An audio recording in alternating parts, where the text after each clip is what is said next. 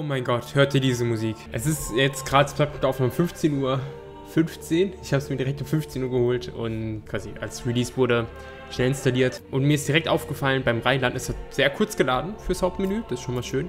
Und wie smooth sich das anhört. Ich glaube, gerade in der ersten Folge wird es auch noch viel, ein bisschen Review-mäßig, aber ich will das Game auch nicht überhypen. Wir stellen uns erstmal, äh, ja, eine Lordschaft. Wir könnten jetzt laden, habe ich jetzt noch nichts vorbereitet. Mm, und wir nehmen mal vielleicht den netten Herrn hier. Oh, das ist ja so Baden-Württemberg.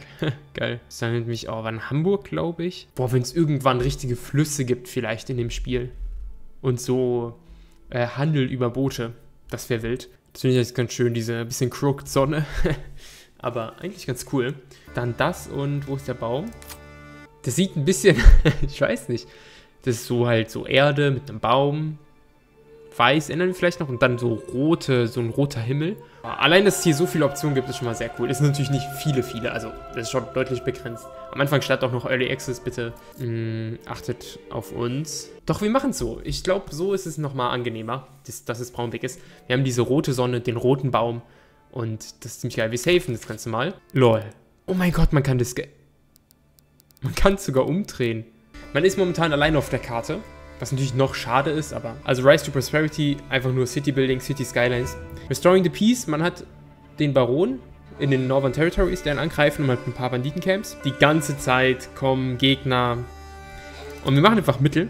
Restoring the Peace ist ja basically. Und jetzt kann man noch Template Difficulty, also man hat, kann hier variieren und man kann hier nochmal variieren, weil ich es sehr cool finde. Und man könnte jetzt Relaxing, Default, Challenging und ich glaube, ja, ich nehme einfach Default. Ich werde da nichts dran rütteln. Es ist einfach alles so, wie es ist. Einfach die Standard Experience, Mittel von Mittel. Und wir gehen rein. Ey Leute, ich habe so Bock. Ich hoffe, es ist gut. Ich habe mir noch gar kein Gameplay angeguckt. Also wirklich noch gar kein Gameplay. Okay, der Anfang war nicht ganz so smooth. Okay, wie bewege ich mit WASD? Oh ja, clean. Okay, das war schon wild. Okay. Unassigned, assigned Leute, Living Space, wie viele Leute wir haben. Auch welches Level die haben. Approval, wie der die mögen. Public Order. Unser Geld wahrscheinlich. Amount of Money owned by Villagers. Ah, okay. Also wie viel Geld meine Leute haben. Livestock. Alter, ich hab, hört euch nur die Musik kurz an. Ah, nee, Default. Wenn man das macht, sieht man einfach alle, die man hat. Und wenn man das macht, sieht man, wenn man zum Beispiel was verplant hat im Gebäude. Alter, guck mal, wie viel bei Military. Sidearms gibt's schon. Bögen, Kle ähm, kleine, große Schilde, Speere, Rüstung, Polearm. Es gibt ja nicht mal Kavallerie, das kommt ja auch noch. Was wir auch teilweise schon im Trailer gesehen haben. Guck mal, wie weit man ranzoomen kann. Wie schön das ist. Uh, ich habe ein bisschen so einen Visual-Bug, oder? Das sind wir. Ah, lädt nochmal einmal. Ist ein bisschen, ah, dieses, ähm, ah, das mag ich eigentlich nicht, dass wenn man zum Beispiel, wenn ich jetzt nach rechts gucke mit der Maus und stehen bleibe, dann slidet es noch ein bisschen. Wir haben fünf Leute, die homeless sind. Wichtig, die werden einem auch direkt angezeigt. Nice. Ich weiß gar nicht, was die Grafikoptionen gerade sind. Warte mal. Graphics. Alle auf Ultra. Sharpening. Ich weiß nicht genau, was das genau heißt. Ja, alles auf Ultra. Dafür läuft es noch echt smooth. Ich habe keinen schlechten PC, aber jetzt auch keinen extrem krassen. Wir benennen ähm, jetzt erstmal kurz... Oh. Ah, genau. Settlement Level. Mhm. Kriegt man Development Punkt. To enact policies, you need to rise your administration level. Hier hat man den Focus Tree, da wird auch noch mehr kommen. Wir haben hier Charcoal, Armor. Ja, das gucken wir uns an, wenn wir was haben. Policies gibt es nur ein paar, glaube ich. Ich glaube, die gibt es noch gar nicht. Work in Progress, genau. Production ist auch noch äh, leer. Und hier kann man wahrscheinlich oben die Region springen. Wir gucken mal ganz kurz. Wie sieht denn unser Dorf hier so aus? Oh, wow, man kann hier richtig schön. Man kann hier richtig schön. Was haben wir denn hier? Wir haben Iron, Beeren, Stone. Trade Point. Und wir sehen auch, was die hier haben.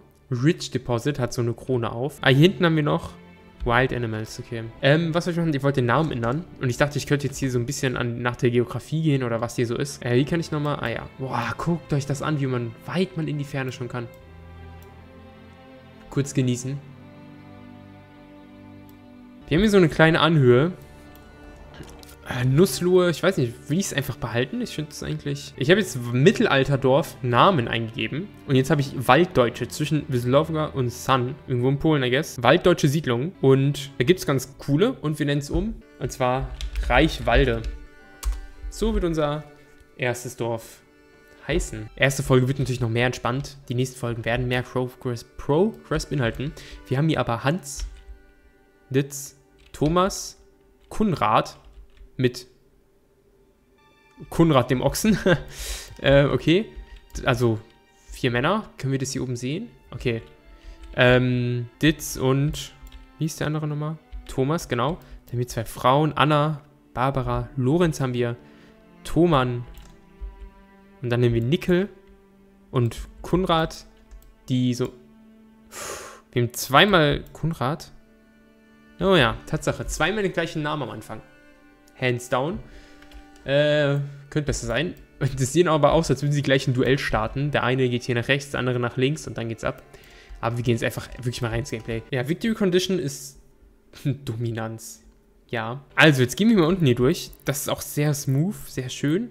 Auch diese kleinen, diese kleinen Sound. Wir haben März, das heißt Frequent Raining, also es regnet viel und die Seasonal Deposits grow, wahrscheinlich halt Bären und sowas. Im Sommer haben wir, dass unsere Felder, dass da alles wächst. Aber es kann auch zu Dürren kommen. Im, ich wollte gerade sagen Oktober. Im Herbst haben wir, dass die Felder bestellt werden, klar. Also alles wird geerntet, plowing and sowing crops, okay? Und im Winter keine Seasonal Resources, Firewood Consumption ist verdoppelt, also man braucht Firewood immer, I guess. And lack of Firewood might cause freezing, Sheep Sharing forbidden. Ja gut, die würden halt sterben. Voll realistisch. Okay, Male Villagers, also nur die Männer. Wir brauchen Equipment. Und wie stark die ausgerüstet sind, liegt daran, was für ein Level die haben. Okay, aber wir haben gerade nichts. Oh, kann ich irgendwie... Ah, kann ich wieder wegmachen. Okay, ja, das bringt es nicht. Wir haben die Map, das haben wir gesehen. Ah, guck mal. Wir haben Hildebold und die Outlaws. Das ist wohl der Baron im Norden hier, dem das gehört. Im Underground Water. Underground Water.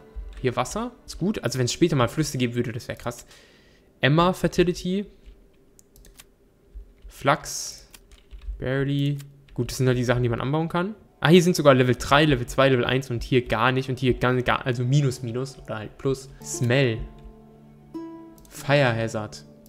Smell ist interessant. Roads, ja. Die Roads, das kennen wir. Das ist mega geil. Wir sehen jetzt sogar die Höhenlinien. Äh, ich könnte es einfach sagen, so, so. Jetzt guck mal, wie schön sich das Ganze biegt.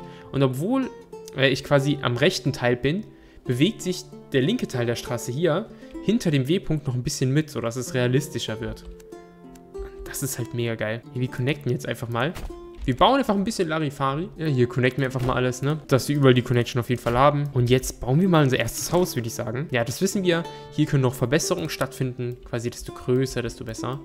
Wir haben hier so ein bisschen so diese Anhöhe. Und ich würde sogar die ersten Gebäude eher hier unten bauen. Und an der Anhöhe vielleicht so ein bisschen die Kirche. Hier oben wäre, glaube ich, ganz geil. Wobei der Markt sollte, glaube ich, eher hier unten sein. Die Kirche ganz oben. Und dann machen wir hier die Häuser. Können wir wirklich groß planen. Aber erstmal zwei, bitte und äh, bauen. Okay, also wir haben gerade fünf Workers basically. Und hier sehen wir, zwei wird gebaut. Äh, das zweite, was auf jeden Fall gebaut werden muss, Alter, wie riesig das direkt ist, ähm, sind natürlich, ich hoffe, ich bin nicht zu nah gerade ans Mikrofon gekommen, tut mir leid.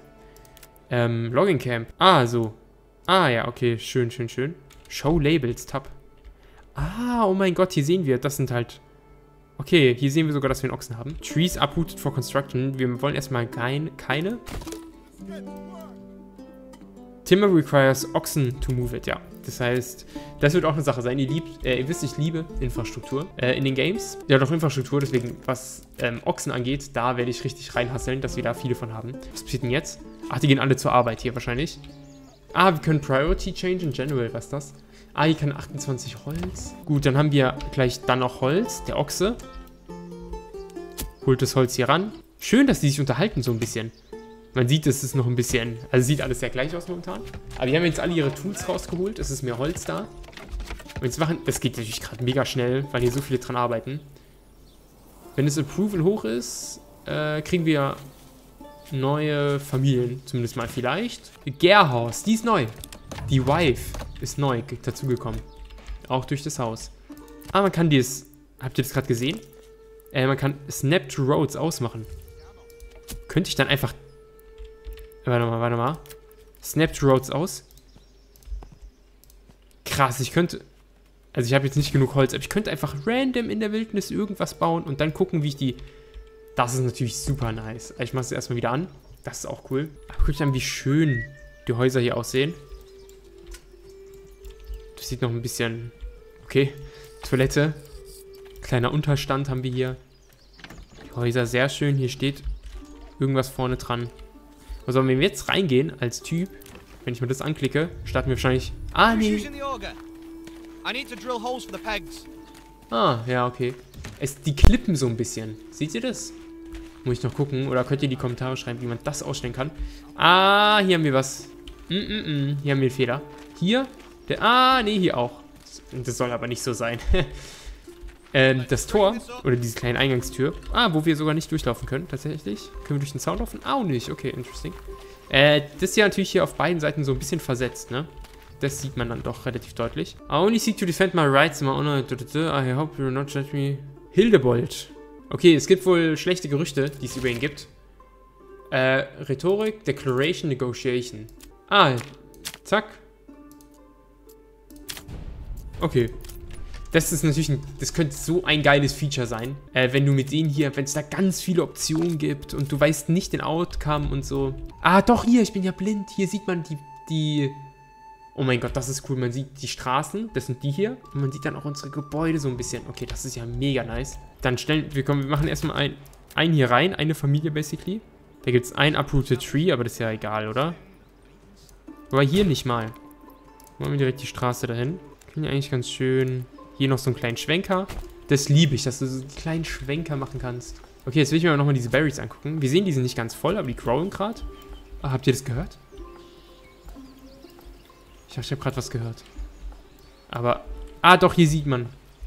Da sind die Berries. Guckt euch an. Okay. Wild Animals, 19 von 20. Oh, die sieht man ja auch. Dass man so weit ranzoomen kann, macht es einfach so zehnmal besser, gell? Die wegen so ein bisschen die Schwanz, seinen Schwanz, die Ohren. Oh, die machen sogar... Hört ihr, hört ihr?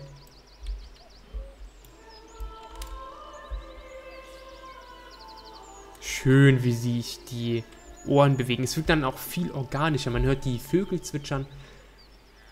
Die Blumen, das Gras bewegt sich im Wind. Man sieht am Schatten der Blätter, dass sich hier auch noch bewegt. Es wirkt alles extrem dynamisch. Sehr, sehr schön. Okay. Die dürften dann hier bald am Construction sein. Oh, das ist interesting. Guck mal. Ist halt die Frage, hier ist so ein kleines Haus mit so einem Hämmerchen-Symbol. Hier ist so ein...